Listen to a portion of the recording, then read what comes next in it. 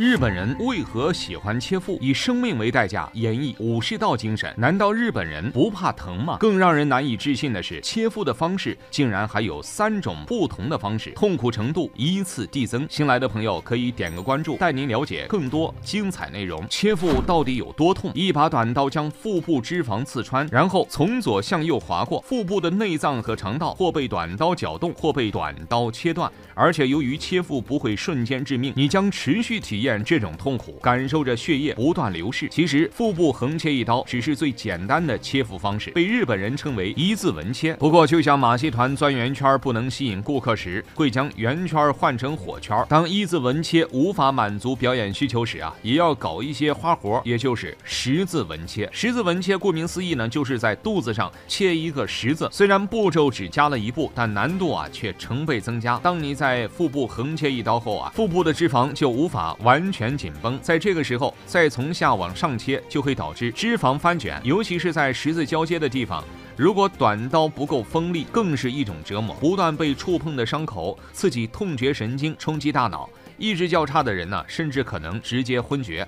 十字切切完之后，腹部几乎已经无法裹住内脏，那血腥画面堪比屠宰场。不过，十字纹切也不是最高礼仪，在日本切腹文化中啊，难度最高的毫无疑问是三字纹切。三字纹切步骤呢是对着腹部横切三刀，听起来呢要比十字纹切简单，但实际上操作难度是地狱级别。切腹的时候啊，每多切一刀，疼痛级别就成倍增加。三刀切下来，内脏啊几乎已经被绞碎。在日本漫长的切腹文化史上，成功完成三字纹切的人有且只有一位，他的名字叫武士瑞山。武士瑞山出生于一八九二年，据说呢，此人身高一米八，在当时的日本堪称小巨人。而且武士瑞山文武双全，开武馆时啊，培养了很多弟子，在当地呢声望极高。后来呢，明治维新时期，武士瑞山也加入了推翻幕府的行列。不过后来呢，被幕府逮捕，在经过两年监禁之后，幕府勒令武士瑞山的主君将其处死。主君被逼无奈，下令让武士瑞山。切腹，武士瑞山听到切腹死刑后，表达了对主君的感谢，因为切腹而死是对武士的尊重。不过大家都没有想到，武士瑞山最终竟然选择了难度最高的切腹方式，也就是三字纹切。虽然大家知道武士瑞山呢十分勇武，但并没有太多人认为他能完成三字纹切，因为此前从未有人完成过。然而记录就是用来被打破的。武士瑞山凭借顽强的毅力，忍受着剧痛，将三字纹切完成，成为日本武士精。精神的象征，很多人很难理解。自杀的方式有很多种，为什么日本人这么喜欢切腹？如此痛苦的死亡方式，为何又成为武士精神的象征？其实啊，这与日本的历史密不可分。日本的切腹文化竟然由一个暴徒创造的，一个为自尽而生的传统，究竟是如何在日本流行起来的？其实，日本最初并没有对切腹有明显嗜好，直到公元989年，一个叫藤原义的日本贵族在做尽恶事之后被政府抓捕。藤原义。本就是一个恶汉暴徒，在知道自己无路可逃后，竟然选择将自己的腹部切开的方式自杀。在当时的日本，人们十分迷信灵魂之说，他们认为腹部呢是人体灵魂和情感的住所。藤原义将腹部切开，掏出自己内脏的行为，就是在向世人表明自己宁死不屈的信念。虽然藤原义坏事做尽，让人不齿，但他这种永不畏死的精神，让所有人啊为之震动。尤其是将忠勇视为无上荣耀的武士，更是纷纷模仿藤原义的切腹方式，也使得切腹自尽啊成为日本武士文化的标志。到了十二世纪末期。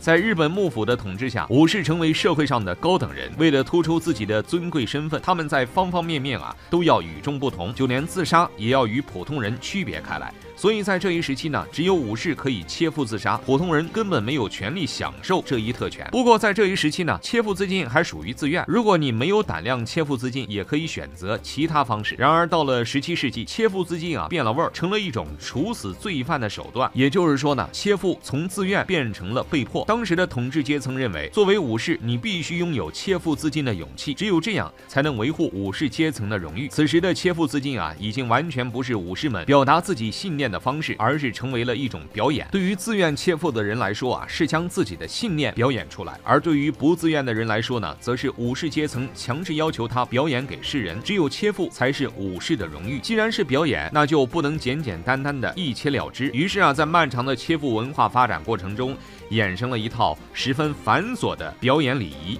想要切腹，这些礼仪一样不能缺，少一步都会成为人生耻辱，成为人们嘲讽的对象。首先呢，切腹者在切腹之前啊，要用冷水沐浴净身，一方面呢是让自己走得干干净净，另一方面呢是降低自己的体温，以免切腹的时候啊流血太多。洗完澡后，切腹者呢会换上一套干净的衣服，往往选择素白色的和服或者是亚麻色的袍子。此时呢，切腹者都会有一个小心机，那就是将袖口缝合在后颈部位。这样一来啊，切腹死亡后，人呢就会向前倾倒，而不是后仰倒下。在日本切腹文化中，向后倒地呢是非常耻辱的表现。当这一切准备妥当之后，切腹者才会进入专用刑场。那么，切腹者的刑场和普通刑场有什么不同呢？为何切腹者身边往往要站着一个带刀侍卫呢？日本人切腹切一半，后悔的怎么办？切腹者身边站着的借错人给你答案，因为他们不是侍卫，而是补刀人。日本切腹文化的礼仪啊，丝毫不比中国酒桌礼仪少。仅在切腹场地的布置上就有十分严格的规定。日本的切腹场地呢，一般是一个半封闭的房间，如果没有房间啊，至少也要用白布围成一个空间。在房间的中间呢，需要有一张榻榻米。如果没有条件，至少呢也要有一个蒲团或者坐垫。在房间的两边呢，需要放置两张倒置的榻榻米，上面垂着白纱。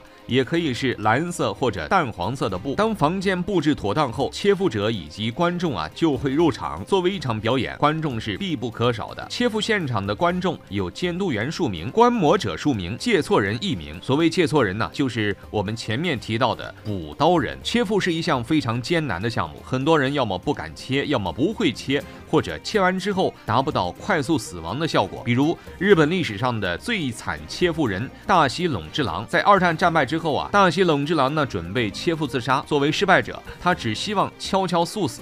于是呢，他将自己关在房子里，偷偷切腹。然而切腹之后啊，他并没有死亡，无尽的痛苦让他备受折磨。于是他用尽全力，又朝着自己的喉咙割了一刀。没想到这一刀啊，只割破了喉管。大西隆之郎还是没有死亡的迹象。就这样，他在房间内啊折腾了近十五个小时，最终因失血过多而亡。或许是因为在战争时期作恶太多，临死前受尽折磨，也是对他的一种惩罚。不过这种情况其实啊经常发生。为了不让这些人在临死前，痛苦打滚，丢了武士阶层的脸。补刀人这一职业应运而生。当所有人员入场后啊，切腹者会面北而坐，补刀人呢则站在切腹者的左侧约一米的距离。随后啊，会有助手端上来一份套餐，以表达对将死之人的人道主义关怀，也就是我们说的断头饭。有些怕死的人呢，这一顿饭会吃得磨磨蹭蹭。为了不出现这种情况，助手啊会在规定的时间内来将剩余的饭菜撤走，并呈上一柄短刀。如果切腹者呢是一位颇有文采之人，或许还会吟诵一段辞世诗，或总结自己的一生，或说说此时的感受。当做完这一切之后啊，切腹者才正式进入切腹阶段。至于选择哪种切腹方式，就由他自己决定了。值得注意的是啊，切腹时哪怕再痛苦，